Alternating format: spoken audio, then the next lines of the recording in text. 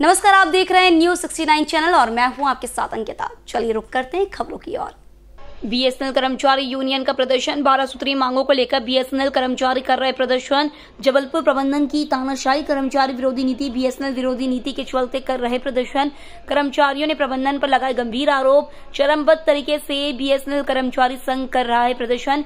BSNL कर्मचारी संघ दी चेतावनी मांग पूरी नहीं होने पर बीएसएनएल कर्मचारी करेंगे उग्र प्रदर्शन।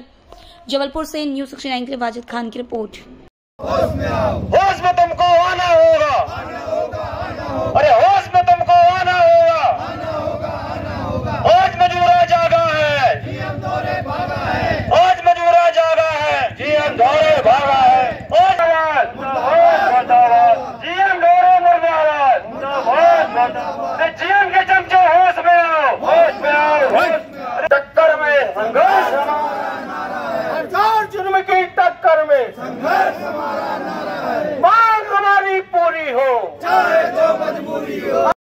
जबलपुर प्रबंधन की तानाशाही, कर्मचारी विरोधी नीति और बीएसएनएल विरोधी नीतियों के चलते हमने एक बारह सूत्री मांग पत्र जबलपुर प्रबंधन को दिया था।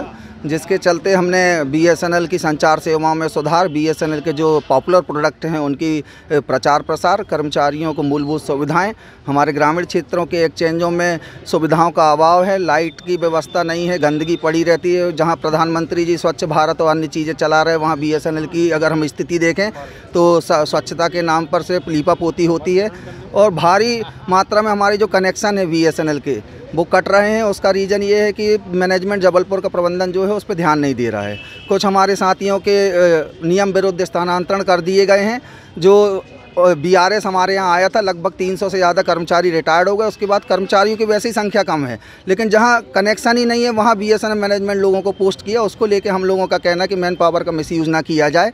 क्योंकि हर व्यक्ति लाख, सवा लाख रुपये का वेतन प्राप्त कर रहा है, उसको ऐसी जगह यूज़ करे जहाँ बी को उसका फ़ायदा मिले। साथ ही साथ उपभोक्ताओं को अच्छी सेवाएँ मिले, उसके लिए प्रयास करने के लिए हम लोग वो कर रहे हैं। बीएसएनएल के टावर बंद रहते हैं, उनको मतलब जो पहले एक एक घंटे बंद रहते थे तो चालू हो जाते थे। आठ आठ, दस दस घंटे बंद रहते हैं। दो दस दस दिन भी बंद रहते, लेकिन प्रबंधन ध्यान नहीं दे रहा। इन सभी मुद्दों को लेकर मेडिकल सुविधाएँ बी कर्मचारियों के मेडिकल बिल भुगतान नहीं हो रहे हैं। ऐसे सभी मुद्दों को लेकर हमने बारह सूत्री मांग पत्र प्रबंधन को दिया था। हमने अभी मंगलवार को प्रदर्शन किया था, अब हम गुरुवार को कर रहे हैं। हमने अभी अनिश्चितकालीन मंगलवार, गुरुवार प्रदर्शन का मैनेजमेंट को कॉल दिया है और इसके पहले हमने काली पट्टी धारण कर भी मैनेजमेंट को विरोध किया था, लेकिन प्रबंधन यहाँ का जागरूक नहीं है।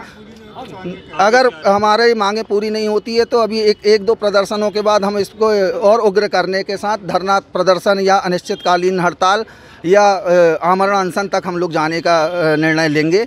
मैं राघवेंद्र अजरिया जिला सचिव B S N L union Jabalpur.